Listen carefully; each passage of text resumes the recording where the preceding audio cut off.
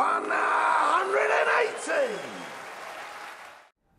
Kevin, congratulations, 10-7 win over Jamie Lewis. Real tough opener for you.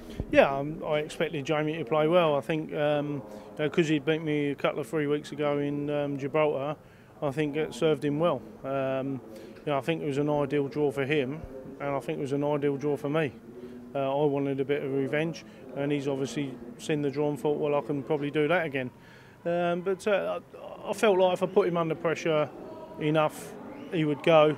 Um, to be fair to the boy, he, he, I thought he played well, and uh, a couple of times when I thought I had him, he, he crept back and nicked a couple of legs. So um, no, he made hard work for it for me, but uh, I'm, I'm, quite pleased to get through. You know.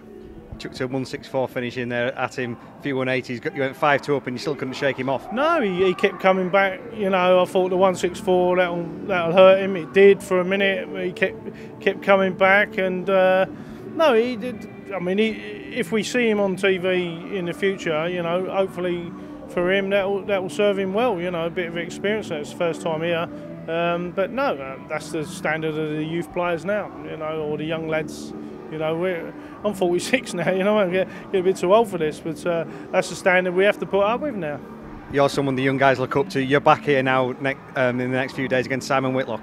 Yeah, yeah uh, I think um, me and Whitlock have had some great games, um, Premier League and other. I think we're 4-4 at the moment, um, so uh, it could be a tight game, you know. And uh, you know, it's great to be back, you know, uh, and, and playing the next round. You know, there's going to be a lot of people going home.